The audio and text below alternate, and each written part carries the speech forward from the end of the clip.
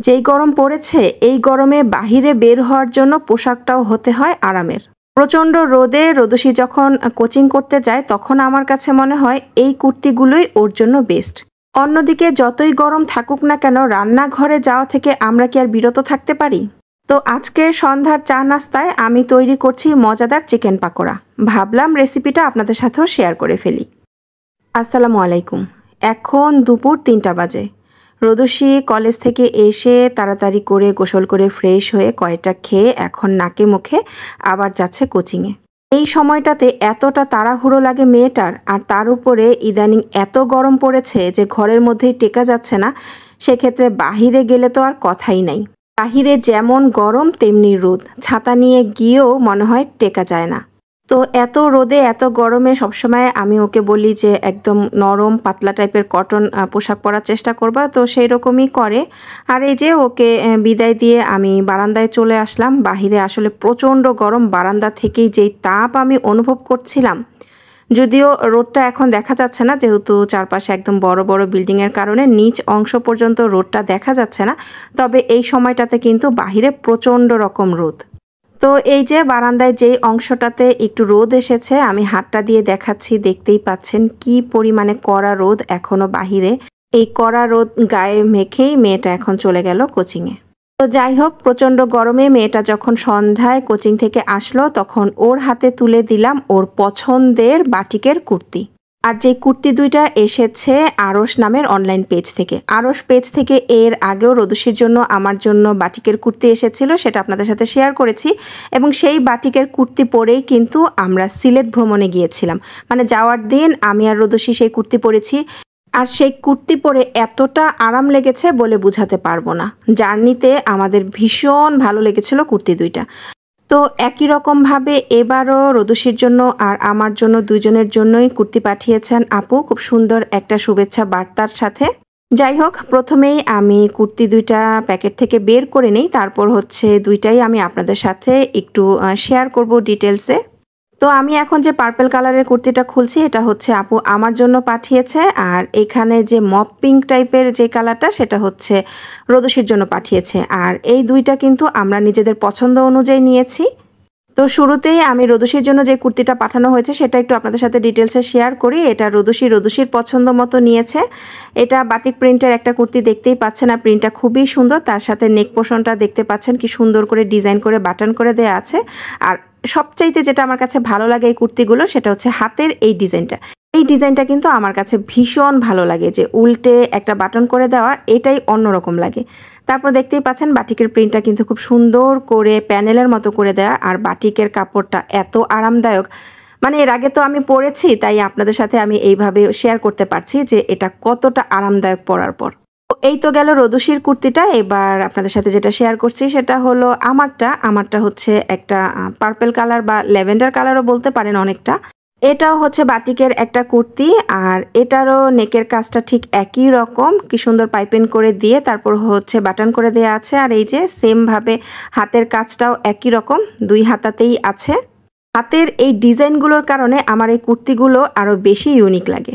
আর এটার মধ্যকার ডিজাইনটাও কিন্তু সেই রুদুশির কুর্তিটার মতোই। মাঝখানে যে লম্বা প্যানেলটা পড়েছে, এটা আমাদের মা মেয়ে দুইজনের কুর্তিতেই পড়েছে। আর এটার কাপড়টাও সেমভাবেই আছে, এটাও খুবই আরামদায়ক একটা কুর্তি। তো এই তো রদুশির কুর্তিটা, আর রদুশি এটা পেয়ে ভীষণ খুশি। আগেরটা যেহেতু পরে সে বুঝে গেছে যে এটা আসলে কতটা ভালো লাগে পড়তে তো এবার বলছে যে এটা পরে কোচিংয়ে গেলে আসলেই আরাম পাওয়া যাবে। আর এটা হলো আমার জন্য পাঠানো কুর্তিটা, আর আমি অপেক্ষায় আছি কোন দিন এটা পরে আমি আবার একটু বাহিরে ঘুরতে যাব। যাই হোক থ্যাংক ইউ সো মাচ আরস পেজের ওনার আপুকে এত সুন্দর দুইটা কুর্তি আমাদের মা মেয়ের জন্য আবারও পাঠানোর জন্য, আর এটা যে কতটা আরামদায়ক সেটা তো পরে আগেই বুঝেছি, তাই আপুকে আরও একবার ধন্যবাদ তো আমার পেজের আপুরাও যদি এইরকম কুর্তিগুলো আপুর পেজ থেকে দেখতে চান, তাহলে আমি আমার আজকের ভিডিওর ক্যাপশনে আপুর পেজ লিঙ্কটা দিয়ে দিব, আপনারা চাইলে সেখান থেকে দেখে নিতে পারেন আপুর পেজে কিন্তু কমফোর্টেবল কটনের অনেক অনেক ড্রেস কুর্তি আছে। যাই হোক, এই তো মেয়ে তো কোচিং থেকে চলে এসেছে আর এইদিকে আপনাদের ভাইয়াও চলে এসেছে আর কোচিং থেকে এসে তো তার পছন্দের কুর্তি পেয়ে এমনিতেই খুশি। ভাবলাম এই খুশিটা আরেকটু বাড়িয়ে দেই কারণ আজকে আমি একটা মজাদার সন্ধ্যার নাস্তা তৈরি করতে যাচ্ছি, সেটা হচ্ছে চিকেন পাকোড়া, যেটা রাদ্রদোষী আর আপনাদের ভাইয়ার সবারই পছন্দ। তো আগে থেকেই ফেটে রাখা দুইটা ডিম থেকে সামান্য পরিমাণ একটু এই চিকেনের মধ্যে দিয়ে, তার মধ্যে দিয়ে দিয়েছি হাফ চা চামচ মরিচের গুঁড়ো, তার মধ্যে সামান্য পরিমাণ গোলমরিচের গুঁড়ো এবং তার সাথে এক চা চামচ পরিমাণ আদা রসুন পেস্ট এবং পরিমাণ মতো লবণ সব কিছু একসাথে ভালো করে মেখে আমি সামান্য তেল ফ্রাই প্যানে গরম করে নিয়েছি আর সামান্য তেলে আমি এখন এই চিকেনগুলোকে হালকাভাবে একটু ভেজে নিচ্ছি।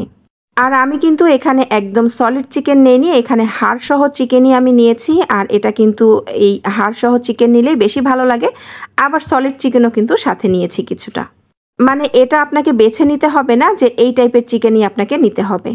যাই হোক, এই তো বলেছিলাম হালকা একটু ফ্রাই করে নেব। দেখতেই পাচ্ছেন, একটা পাশ এরকম হালকা হয়ে গেলে আমি এটাকে আবার উল্টে দিয়েছি। আর দুইটা পাশি যখন একরকম ভাজা হয়ে যাবে, তখন আমি এগুলো তুলে ফেলব, কারণ এগুলোকে পরবর্তীতে আবার ডিপ ফ্রাই করা হবে। তাই খুব বেশি ভেজে নেওয়ার এখন কোনোই প্রয়োজন নাই। চিকেন ভাজা শেষ। এখন আমি এটাকে পরবর্তীতে ফ্রাই করার জন্য বাকি উপকরণগুলো রেডি করে নিচ্ছি। আমাকে এখন একটা ব্যাটার তৈরি করতে হবে। আর সে ব্যাটারের জন্য প্রথমেই যে আমি বলেছিলাম, দুইটা ডিম আমি এখানে ফেটে নিয়েছি। এখান থেকে দুই টেবিল চামচের মতো ডিম শুধু আমি সেই চিকেনে ব্যবহার করেছি। বাকি দুইটা কিন্তু এখানে রয়েই গেছে। তো এর মধ্যে কিন্তু ধনিয়া পাতা এবং মরিচ কুচির পরিমাণটা একটু বেশি দিতে হয়। তো আমি দিয়ে দিয়েছি বেশ ভালো পরিমাণে ধনিয়া পাতা কুচি। আর এখানে দেখতেই পাচ্ছেন, প্রায় তিন চার টেবিল চামচের মতো হবে, কাঁচামরিচ কুচি দিয়ে নিয়েছি। যেহেতু ঝালটা বেড়ে যাবে, তাই আমি চেষ্টা করেছি কাঁচামরিচের মধ্যে যে একদম কড়া কড়া কাঁচামরিচগুলো আছে, যেগুলোতে ঝাল কম হবে বলে মনে হয়, সেগুলো দিয়ে নিতে। দিয়ে দিচ্ছি পরিমাণ মতো লবণ।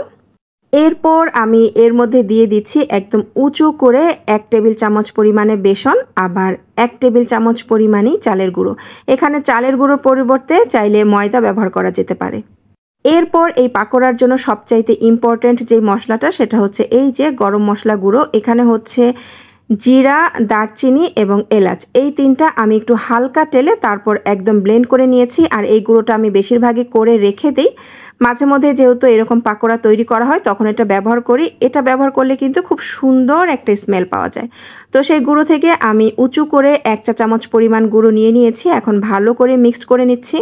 তো এরই মধ্যে আমি সবচাইতে ইম্পর্ট্যান্ট দুইটা জিনিস ভুলে গেছি। একটা হচ্ছে এক চা চামচ পরিমাণে বেকিং পাউডার আর আরেকটা হচ্ছে এক চা চামচ পরিমাণে লেবুর রস। তো এবার সেই দুইটাও দিয়ে দিলাম আর দিয়ে এখন খুব ভালো করে নেড়েচেড়ে মিক্সড করে নিচ্ছি। এই ব্যাটারটা এইরকম না যে প্রত্যেকটা চিকেনের পিস আলাদা আলাদা করে ব্যাটারে চুবিয়ে তারপর তেলে ভাজতে হবে। এই যতটুকু ব্যাটার তৈরি করেছি, এটা দিয়ে কিন্তু আমি যতখানি চিকেন ভেজে নিয়েছি, পুরো চিকেনটাই ভাজা হবে। মানে ঠিকঠাক মতো মাখানো হয়ে গেলে আমি যেই চিকেনগুলো ভেজে নিয়েছি, সবগুলো চিকেন এই ব্যাটারের মধ্যে দিয়ে একসাথে মেখে নিব। এতে করেই কিন্তু পুরো চিকেন কভার হয়ে যাবে। সেটা ভাজার আগে বুঝতে না পারা গেলেও ভাজার পর কিন্তু ঠিকই বুঝতে পারবেন যে কতটা কভার হয়েছে। তো দিয়ে দিলাম আমি ভেজে রাখা সবগুলো চিকেন আর এখন হচ্ছে একদম ভালো করে নেড়ে চেড়ে মেখে নিচ্ছি। আমার এখানে চিকেনের পরিমাণটা যেহেতু একটু বেশি ছিল, তাই আমি এখানে দুইটা ডিম ব্যবহার করছি। আর একটু কম হলে কিন্তু একটা ডিমেই হয়ে যেত। খুব বেশি ডিম কিন্তু এটার মধ্যে লাগে না। দেখতেই পাচ্ছেন কেমনভাবে মাখিয়ে নিয়েছি। আর এখন একটা একটা করে আমি ফ্রাই প্যানে আগে থেকে তেল গরম দিয়ে রেখেছিলাম, সেখানে একটা একটা করে দিয়ে দিচ্ছি। যেহেতু ব্যাটারটা ডিম দিয়ে তৈরি, তার কারণে হচ্ছে তেলের মধ্যে দিলেই ফেনা হবে এবং এ কারণে একসাথে অনেকগুলো না দিয়ে অল্প অল্প করে ভেজে নিতে পারেন। তো আমিও আজকে সেভাবেই তৈরি করব। এই নাস্তাটা আমাদের ঘরে, আমার ছেলে, মেয়ে হাজব্যান্ড সবারই খুবই পছন্দের। আর এটা খেতে যতটা মজা, আমার কাছে মনে হয় সেই তুলনায় তৈরি প্রসেসটা সহজই আছে।